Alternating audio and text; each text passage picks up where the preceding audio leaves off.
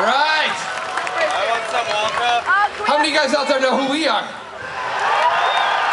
It's pretty fucking good. Unfortunately, we don't probably know any of you. What? Wait, no. No. Not gonna happen, buddy, sorry.